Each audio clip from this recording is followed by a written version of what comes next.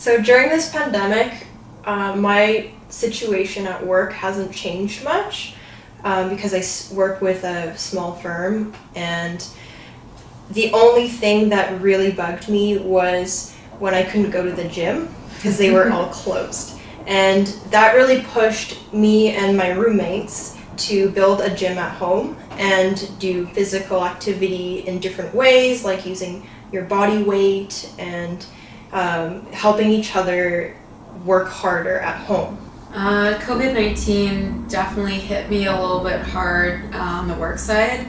Um, I was lucky to have my job throughout it, but being on the road and seeing so many different clients on a daily basis, uh, really made me miss people because I live at home alone. And also, my family um, is about an hour away. So, because my family doesn't FaceTime, um, I just called them a lot, like almost every day, if not twice a day. Um, I'm definitely very close with my family, so that's one thing that uh, was important that I have that contact because I'm